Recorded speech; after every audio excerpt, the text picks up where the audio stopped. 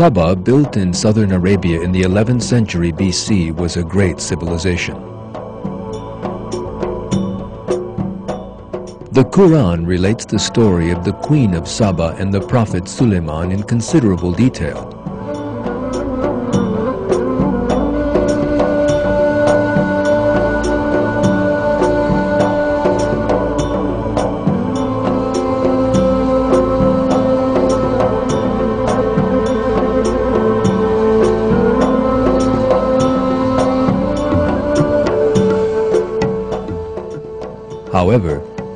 Is another story in the Quran regarding this people, who appear before us in a violent act of destruction.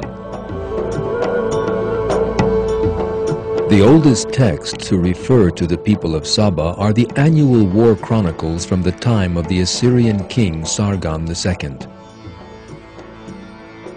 According to these inscriptions, Sargon mentioned Saba as one of the states that pays tribute to him. This record is the oldest text giving firm information about the state of Saba.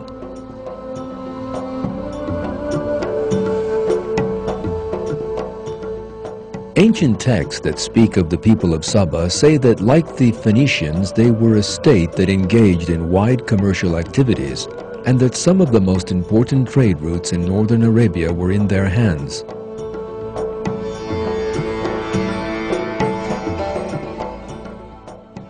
The Sabaeans were known in history as a civilized people. The inscriptions of the Sabaean rulers frequently speak of restoring, endowing, and building.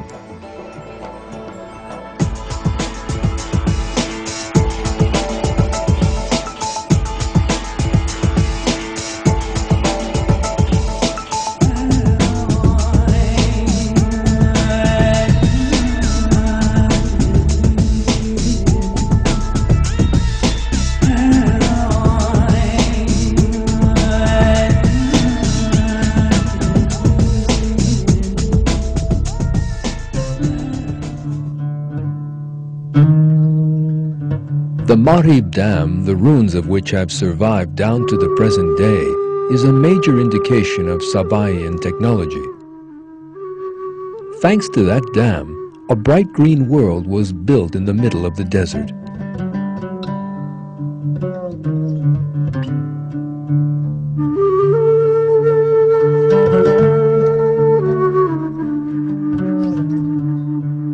The capital that benefited from the dam was Marib, which had grown wealthy because of its many geographical advantages.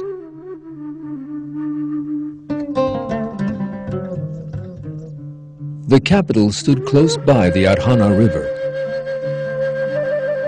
The Sabaeans made use of this and built a dam here as they were constructing their civilization and began irrigating the area. Agriculture prospered and they were thus able to enjoy high levels of well-being.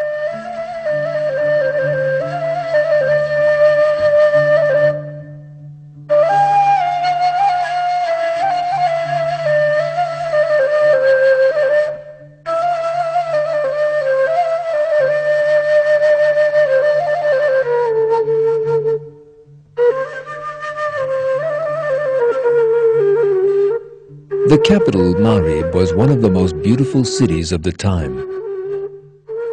The Greek writer Pliny, who traveled in the area and had great praise for this land, spoke in his works of the way it was all so verdant.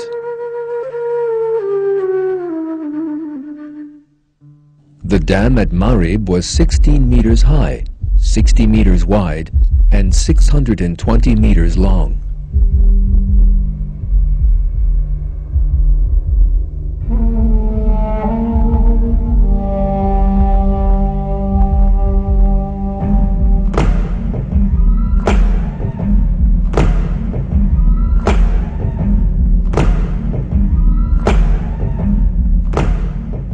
Calculations have shown that the two wide plains on both sides of the city could be watered by means of it. These two plains are sometimes described on Sabaean inscriptions as Marib and the Twin Plains. The expression two gardens to the right and to the left in the Quran in all probability refers to the impressive vineyards and gardens in these two valleys.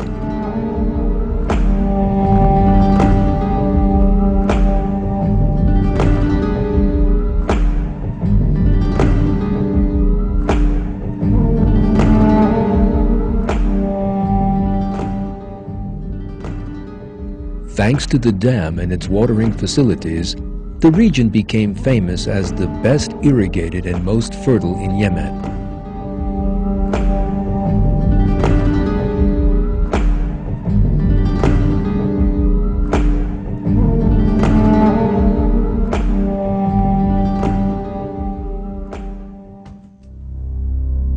When we examine the verses in the Quran in the light of these historical facts, we can see enormous compatibility between them.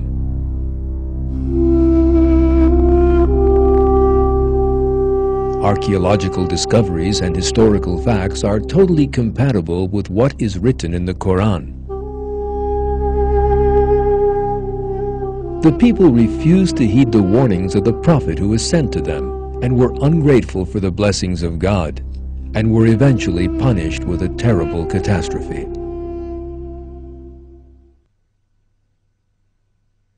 There was also a sign for Saba in their dwelling place, two gardens, one to the right and one to the left. Eat of your Lord's provisions and give thanks to him, a bountiful land and a forgiving Lord. But they turned away, so we unleashed against them the flood from the great dam, and exchanged their two gardens for two others containing bitter-tasting plants and tamarisk and a few lote trees. That is how we repaid them for their ingratitude. Are any but the ungrateful repaid like this?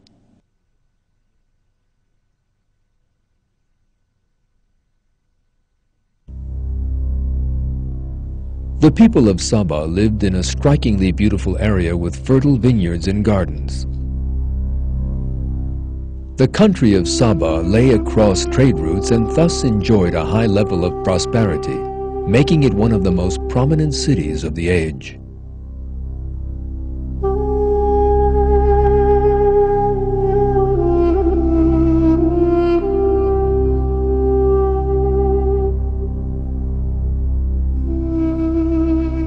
What the people of Saba needed to do under such agreeable conditions was to eat of the sustenance provided by their Lord and be grateful to Him. Yet they did not do so. As a verse puts it, they turned away from God. Their arrogance in their well-being caused them to lose it.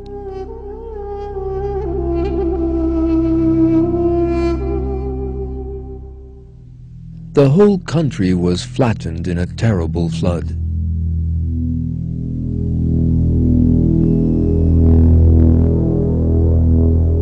The vineyards and gardens of the people of Saba were suddenly left under the waters.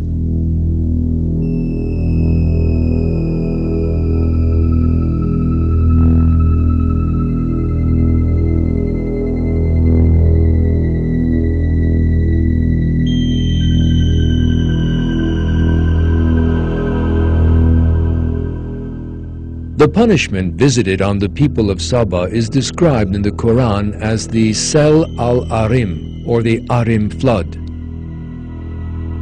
This term in the Quran also tells us the way this disaster occurred. The word Arim means dam or dike. Sel al-Arim describes the way a flood occurs after a dike has been breached.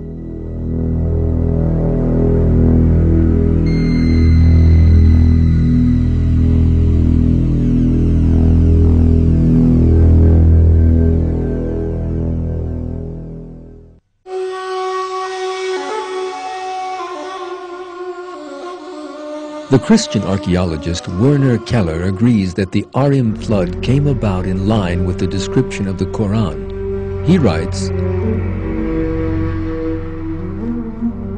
For 1,500 years this garden of spices bloomed around Marib.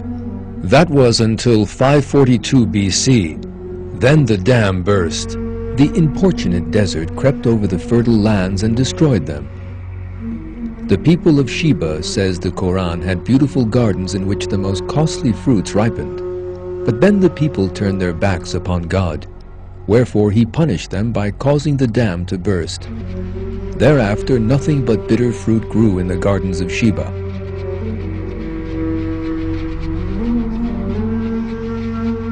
The dam, that may be considered the most important source of the people of Saba's wealth and well-being, was also the means of that ungrateful people's destruction. After the disaster of the Arim flood, the area turned into a desert, and as the agricultural fields disappeared, the people of Saba lost their most important source of revenue.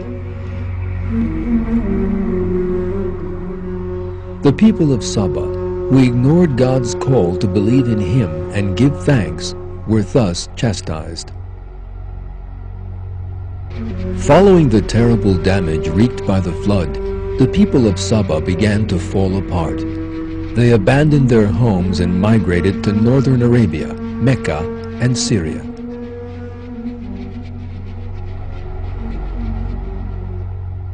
Marib, where the people of Saba had once dwelt, was now a desolate ruin and is most definitely a warning to everyone who commits the same mistakes as the people of Saba.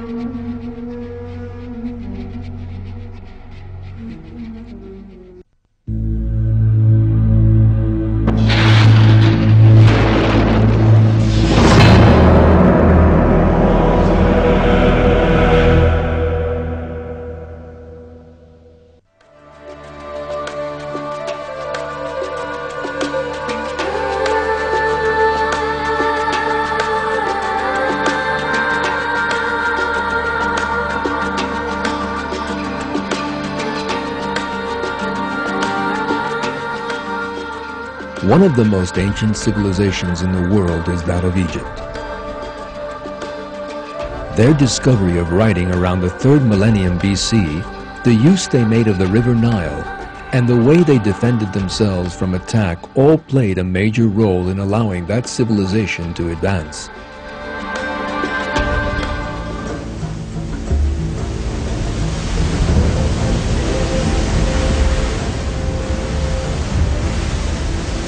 Ancient Egypt rested on one of the world's great natural wonders, the River Nile.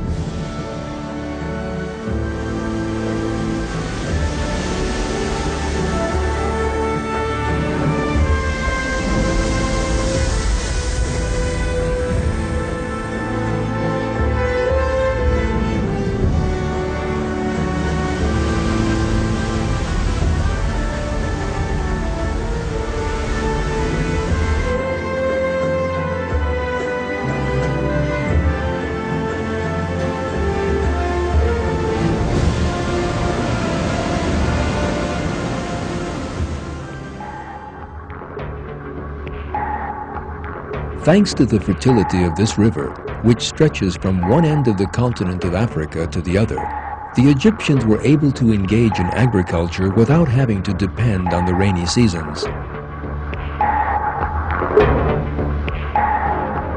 The historian Ernst Gombrich makes the following comments on the subject. Africa is hot. It does not rain for months. Many parts of the continent are therefore arid. Those regions are covered in desert. That is the case to the right and left of Egypt. It rains very infrequently in Egypt, but there is not that much need for rain because the river Nile flows right through the middle of the country. Given its enormous strategic importance, he who controlled the Nile also controlled Egypt's most important source of trade and agriculture. In other words, its very life.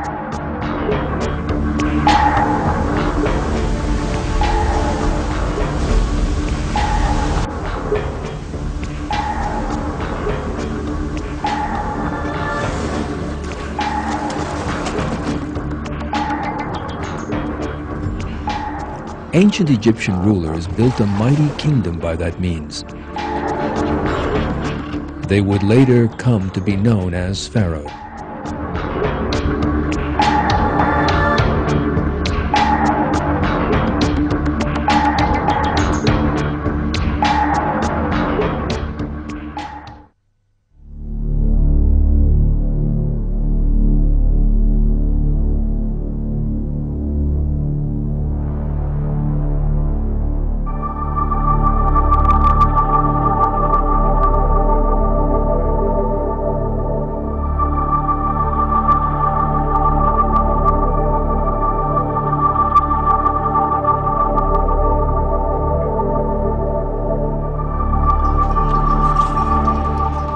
Ancient Egyptians possessed a deviant belief in a great many gods.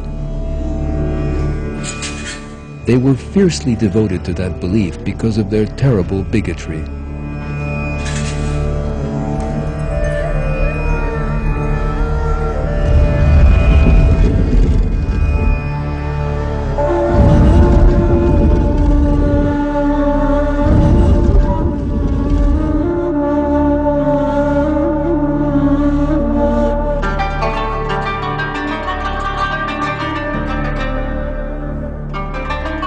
The people of ancient Egypt were greatly influenced by their natural environment. The country's physical geography protected it very well from external threats. Egypt was surrounded by deserts, mountainous lands, and seas on all sides. There were two routes for an attacker to enter the country, and it was a simple task for the Egyptian army to defend them.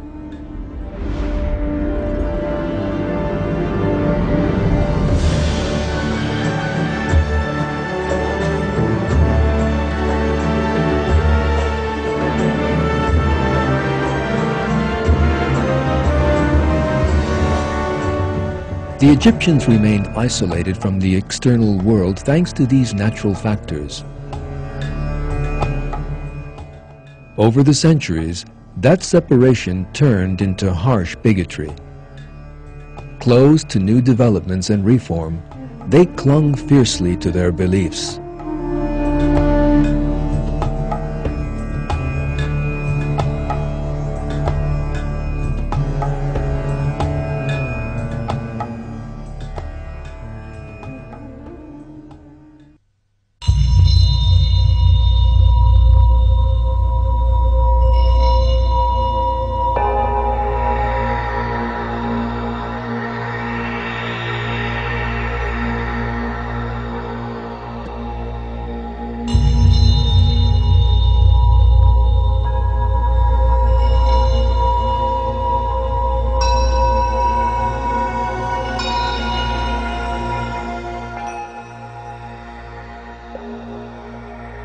Life after death formed the most important component of Egyptian belief.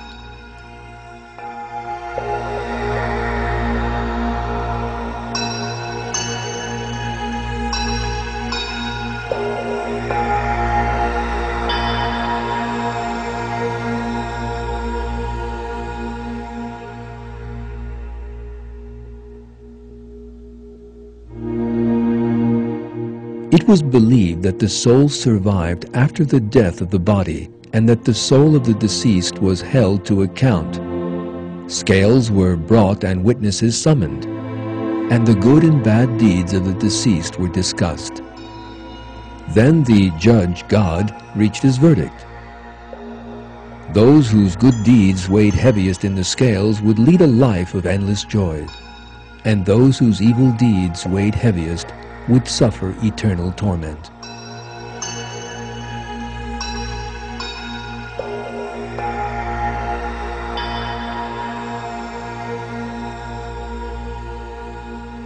It is impossible not to see that the Egyptians' belief in the afterlife showed parallels with monotheistic belief and the true religion.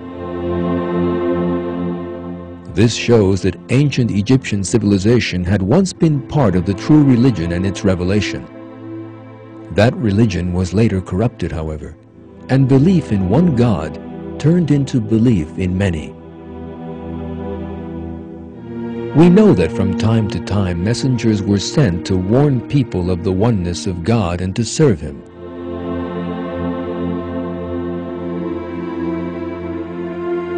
One of these was the prophet Yusuf, whose life is set out in the Quran in some detail. The prophet Yusuf migrated to Egypt with the people of Israel and settled there. After his death, there began a period of enslavement of the children of Israel. That age would end with the sending of the prophet Musa as an ambassador and his leading the children of Israel out of Egypt.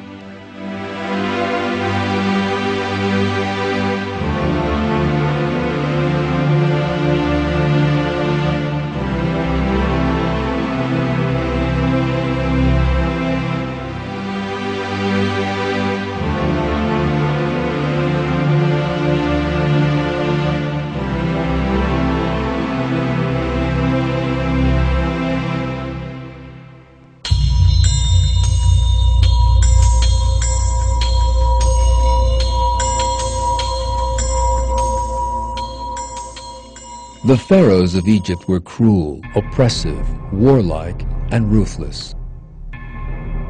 One thing they had in common was that they all regarded themselves as great beings within the twisted Egyptian polytheistic system and could shed blood without a moment's remorse.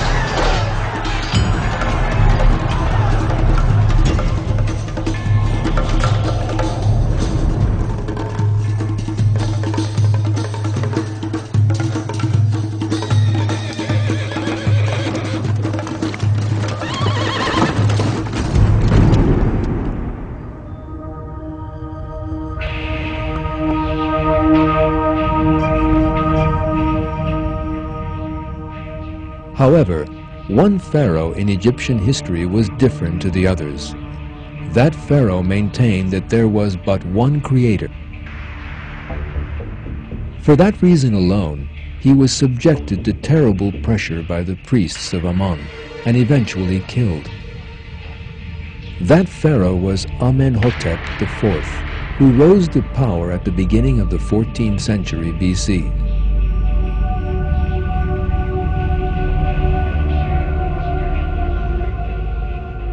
When Amenhotep assumed the throne in 1375 BC, he encountered a conservatism that had grown over the centuries and was subjected to great strife.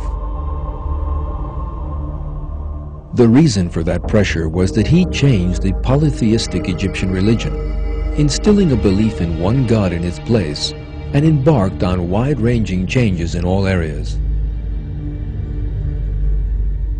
However, the leaders in the capital, Thebes, fought Amenhotep. Those who supported him left the city and migrated to another region. Here, Amenhotep changed his name to Ak en Anton, which meant the servant of Aton. Aton, according to Amenhotep, was the creator of the heavens and the earth which indicates that he believed in God alone. Other cruel pharaohs ascended the throne after Amenhotep. They set about spreading their traditional polytheistic religion once again and did all in their power to return to the past. A century or so later, Ramses II came to the throne who would enjoy the longest reign in the history of Egypt. According to a great many historians, it was Ramses who opposed the children of Israel and struggled against the prophet Musa.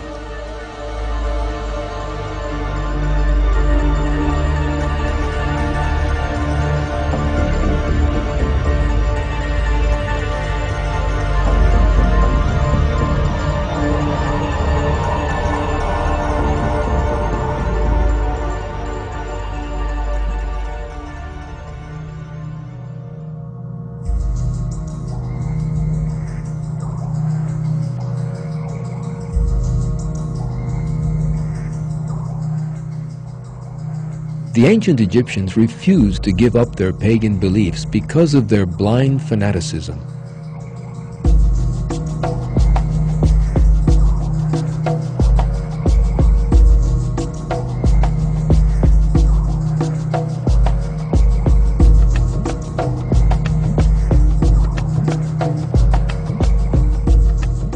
Messengers had come to warn them to believe in one God, but the people of Pharaoh had always returned to their old beliefs.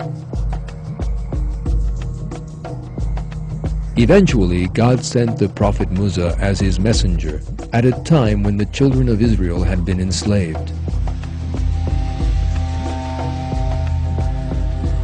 The prophet Musa was charged with both calling the Egyptians to the true religion and with guiding them to the true path by freeing them from slavery.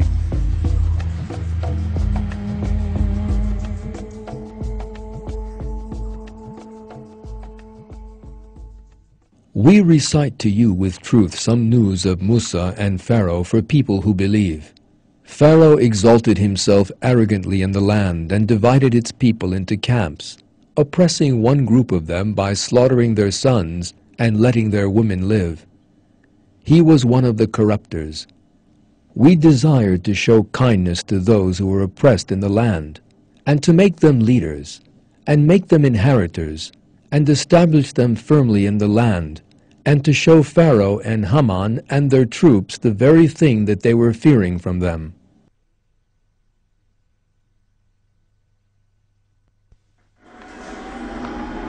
In obedience to God's commandment, the prophet Musa and his brother Harun went to Pharaoh and told him of God's commands. What they wanted was for Pharaoh to cease oppressing the children of Israel and set them free.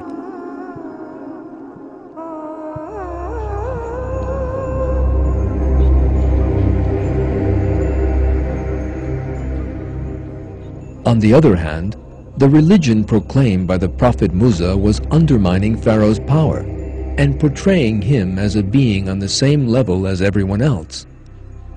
Furthermore, if he freed the children of Israel, he would lose some important manpower.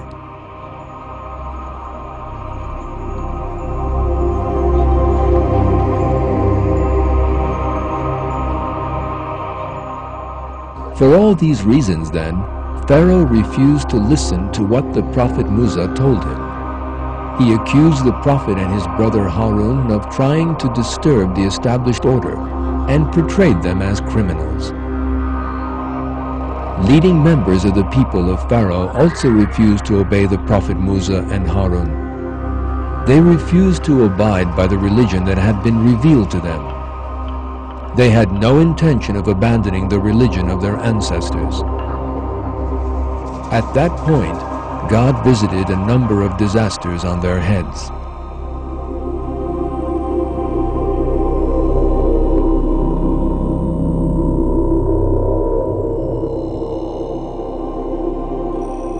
Pharaoh and those close to him were so fanatically devoted to their polytheistic system and pagan beliefs, in other words, the religion of their ancestors, that they were totally unwilling to give it up. Not even the miracles performed by the prophet Musa could turn them from their superstitions. They openly stated the fact. According to Surah 7 verse 132, they said, No matter what kind of sign you bring us to bewitch us, we will not believe in you.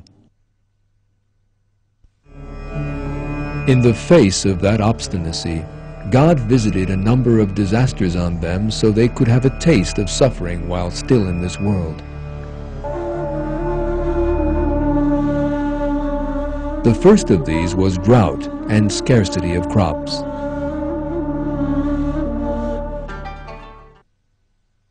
We seized Pharaoh's people with years of drought and scarcity of fruits, so that hopefully they would pay heed.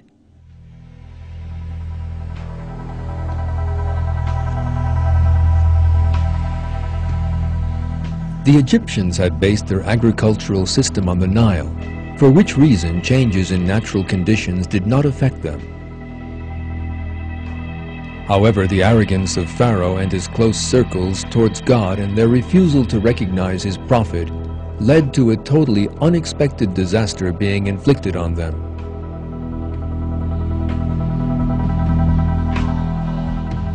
In all probability, Water levels in the river Nile dropped enormously for various reasons, and the irrigation canals from the river were unable to carry enough water to the fields. Extreme heat led to crops drying up.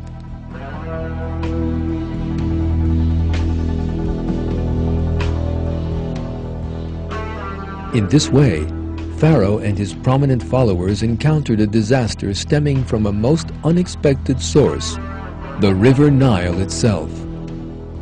Surah 43 verse 51 reveals how this catastrophe dismayed Pharaoh who previously used a call to his people saying, My people, does the kingdom of Egypt not belong to me?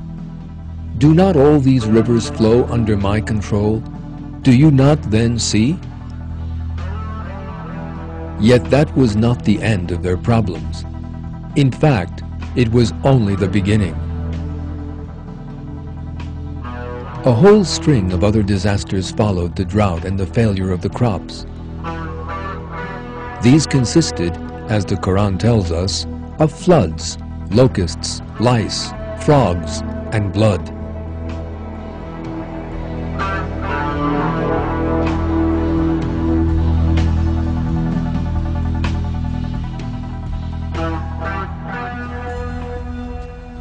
Despite all these things that had happened to them, Pharaoh and his people still refused to take the advice given to them and turn to God.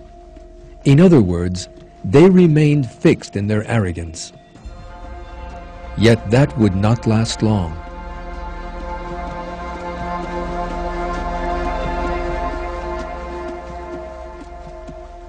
Since Pharaoh still refused to accept the might of God, despite everything that had happened, God told the prophet Musa to lead the children of Israel out of Egypt. They obeyed the prophet Musa and set out with him to leave Egypt.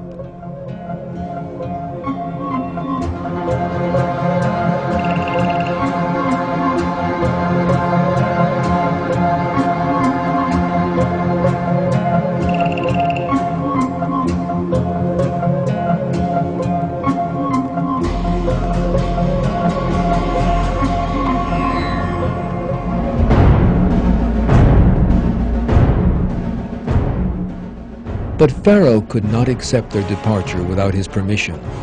He therefore gathered his army together and set out to follow the children of Israel.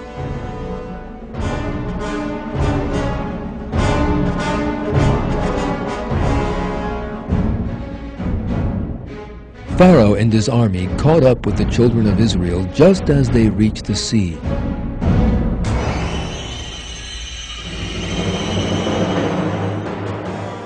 When the children of Israel saw this, some of them began to rise up against the prophet Musa.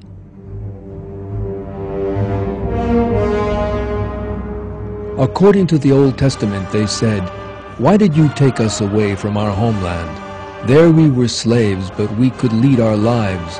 Now we will die. The Quran describes that weakness of theirs in these words.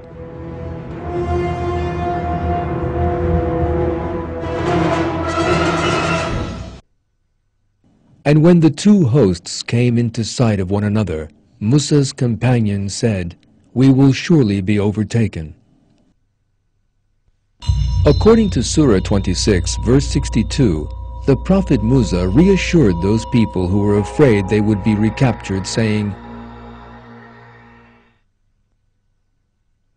Never, my Lord is with me and he will guide me.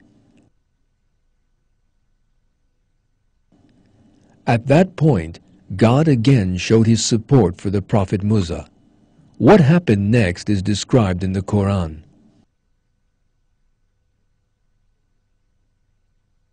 So we revealed to Musa, Strike the sea with your staff, and it split in two, each part like a towering cliff. And we brought the others right up to it. We rescued Musa and all those who were with him. Then we drowned the rest. There is certainly a sign in that, yet most of them do not believe. Truly your Lord is the Almighty, the most merciful. Quran 26, 63 to 68.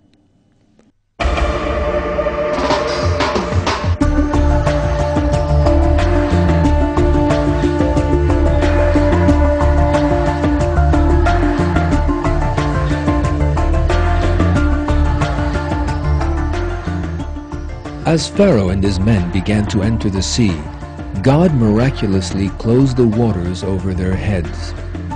The Quran states that as Pharaoh realized that he was about to die, he stated that he believed in God.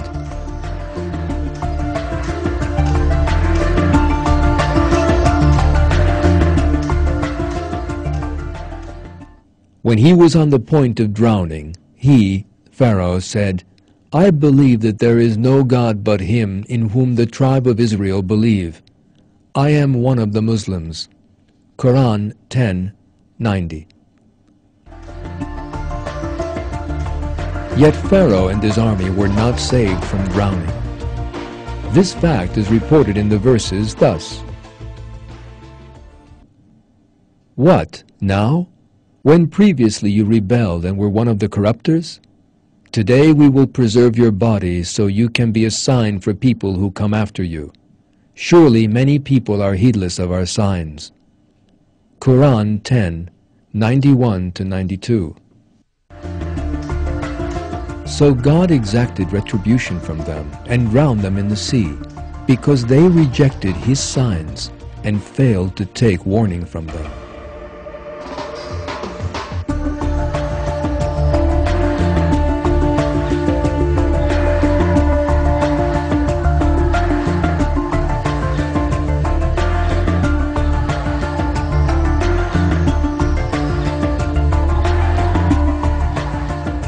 Following Pharaoh's violent death, the people of Israel set out for the land promised them by God. And we bequeathed to the people who had been oppressed the easternmost part of the land we had blessed, and its westernmost part as well. The most excellent word of your Lord was fulfilled for the tribe of Israel on account of their steadfastness.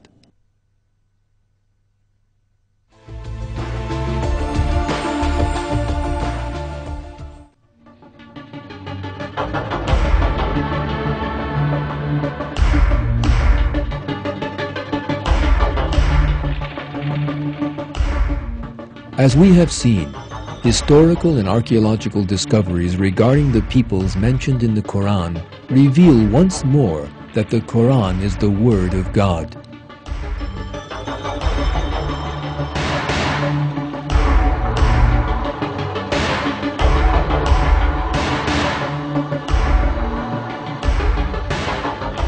People must learn from what befell these peoples and look for means to draw closer to God.